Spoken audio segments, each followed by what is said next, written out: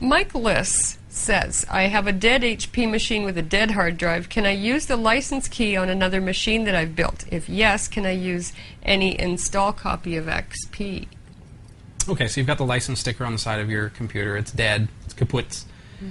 And you want to move it onto another system. Problem with some of those mass manufactured doodads is that you're actually using a special OEM key that relies on a software installer that was given to them by Microsoft. So they mass install these things.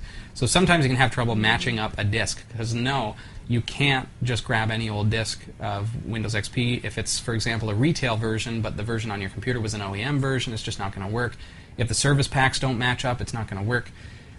But as far as the legalities go, you're typically licensed to use Windows with the license on one PC. So as long as you're you're you know if it's off of that computer, which it's crashed, so we'll say it is, then technically you're able to now install that onto another system. But uh, the it was what an HP machine, so it's an H it's an HP license.